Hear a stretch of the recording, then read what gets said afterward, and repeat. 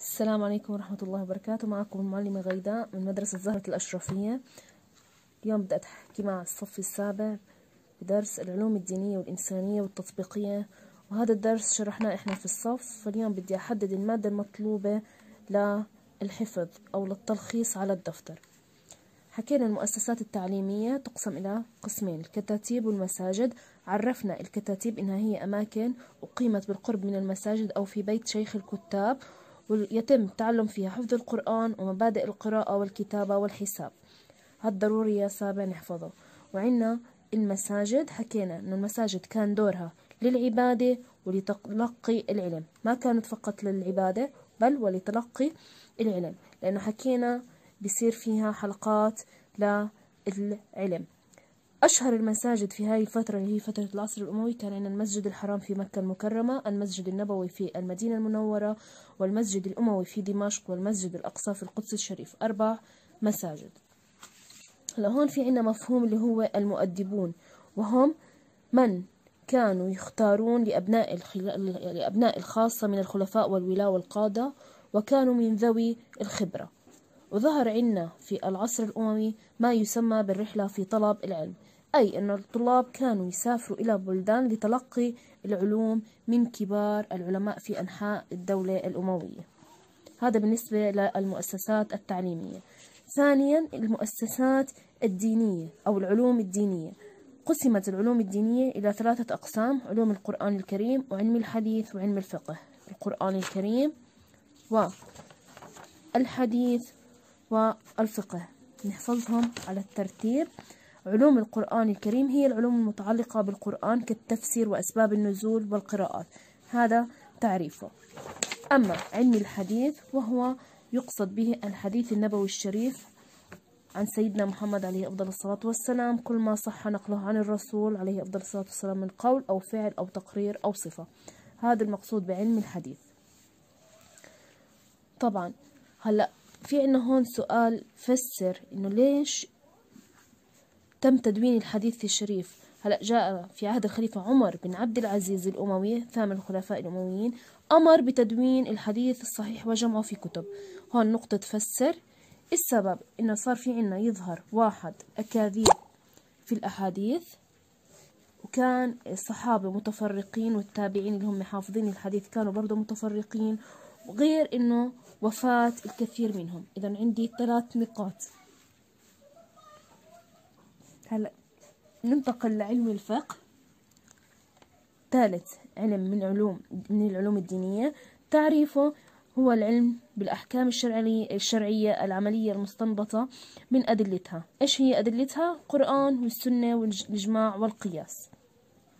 برضه هون في عنا هذا التعريف. هون في عنا سؤال فسر. زادت الحاجة لهذا العلم اللي هو علم الفقه في هذه الفترة من العصر الأموي. السبب؟ اتساع الدولة وتنوع شعوبها واختلاف أحوالها. ثالثا العلوم الإنسانية. قسمت العلوم الإنسانية إلى اللغة والشعر والخطابة التاريخ الفلسفة والترجمة. عندنا خمس أقسام للعلوم الإنسانية. أول قسم اللغة اللي هو وضع العلماء آه، حاول العلماء أو قام العلماء بوضع قواعد للمحافظة على اللغة العربية من اللحن أي الخطأ. كلمة لحن تعني خطأ في لفظ الكلام. ليش صار في عنا لحن في خط في لفظ الكلام؟ بسبب دخول العديد من الشعوب الغير عربية في الإسلام. هلأ مظاهر تطور علم اللغة في العصر الأموي واحد تنقيط أحرف اللغة العربية وضبطها بالحركات. أهم علماء اللغة العربية في العصر الأموي أبي الأسود الدؤلي. اثنين عنا ظهور مصطلحات جديدة نتيجة لترجمة العلوم والمعارف. صار في عنا يظهر معالم أو كلمات جديدة في العلوم والمعارف. الشعر والخطابة طور الشعر عندي في العصر الأموي أهم مظاهر تطوره ظهور علم العروض. هلا هون أهم شيء سابع إنكم تعطوني مثال إنه أشهر آه، الشعراء في العصر الأموي الأخطل هو شاعر معاوية بن أبي سفيان. هاي النقطة هون عندي إنه ازدهرت الخطابة في العصر الأموي السبب إنه ازدادت أهميتها بسبب كانت إنها تعد ركن من أركان تثبيت دعائم الحكم الأموي. هاي النقطة برضو عنا مهمة. التاريخ تعريف التاريخ هو العلم الذي يعنى بتسجيل الأحداث التاريخية وفقا لزمن حدوثها. عندي مفهوم التاريخ هون مهم. أول وهاي النقطة هون أول من دون التاريخ عبيد بن شرية في عهد الخليفة معاوية بن أبي سفيان. الفلسفة بدنا نعرفون إنه أشهر الفلاسفة واصل بن عطاء. الترجمة النقطة الخامسة. الترجمة هلأ بسبب اختلاط المسلمين بشعوب البلاد المفتوحة أي البلاد التي فتحت في الإسلام أدى هذا إلى اطلاعهم على ثقافات هاي الشعوب فدعا دفعهم ذلك إنهم يترجموا الكتب اللي كانت تخرج من هدول من عند البلاد المفتوحة. فترجموا هاي الكتب. وعندنا أمثلة بدنا نعرفها أشهر المترجمين ابن المقفى الذي ترجم كليلة ودمنة العلوم التطبيقية هو رابع آه، نوع من أنواع العلوم.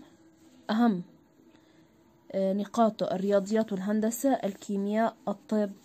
عندي. لو نيجي نحكي في الفلك النقطة الرابعة. أربع نقاط نحكيهم نرتبهم على الدفتر تحت بعض الرياضيات والهندسة الكيمياء الطب والفلك. كيف اهتموا بعلم الرياضيات أو كيف برز عندهم علم الرياضيات والهندسة؟ من خلال بناء القصور والمساجد والقناطر. الكيمياء بإيش عرفت عندنا هون؟ عرفت الكيمياء عند العرب بعلم الصنعة بعلم الصنعة وعلم الكيمياء هو علم لو نيجي نعرفه علم يعتمد على التجربة والملاحظة الدقيقة. الطب اهتم علماء المسلمين بالطب وعلومه. أهم مظاهر الاهتمام في الطب. يعني أذكر بيجي سؤال أذكر مظاهر اهتمام العلماء في العصر الأموي في الطب. بيجي أول واحد تشجيع الخلفاء بني أمية الأطباء وتقريبهم. اثنين العناية بأصحاب الأمراض المزمنة والمعدية. ثلاثة تطبيق فكرة الحجر الصحي والطب الوقائي. في عنا هون تعريف للبيمرستان أو المستشفى اللي هو لفظ فارسي. شوفوا هون أخذناه معناته من وين؟ من الشعوب المفتوحة مكون من بيمار وتعني المرض وستان هي مكان المرض. بدنا نعرف هون إنه عندنا أنواع في المستشفيات في الدولة الأموية أول مستشفى هي المستشفيات الثابتة وشرحها اللي هي أقيمت في المدن الكبرى يعني في العواصم لعلاج الأمراض. في عندي مستشفيات مختصة وهي أقيمت لعلاج فئة خاصة من المرضى اللي هي عرفت بالمرستان مثل الأمراض المعدية.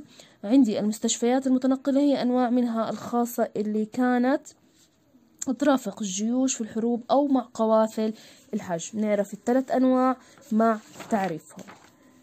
رابع علم اللي هو الفلك. أهم أو يعد الفلك من أوائل العلوم التي اهتم بها المسلمين.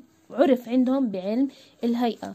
إذا الفلك علم الهيئة والكيمياء زي ما حكينا بعلم الصنعة. نميز بيناتهم. في عندي سؤال فسر برزت أهمية هذا العلم. ليش برزت أهمية علم الفلك عند المسلمين؟